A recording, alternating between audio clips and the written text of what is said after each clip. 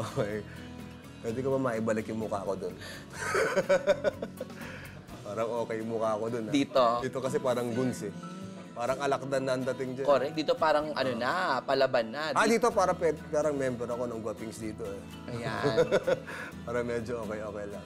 Pero et, eto, yan yung mga unang pictorial namin ng Street Boys. Sa Samar pa yan. Pero asa ang, ang kaibigan ko talaga dyan, si Spencer. Kasama ko siya sa volleyball team.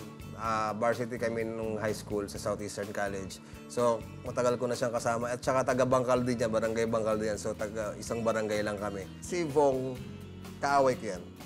Dati, personal na kaaway o dahil sa trabaho? Personal. Hindi pa kami street boys. Ah, uso dati yung mga simbang gabi.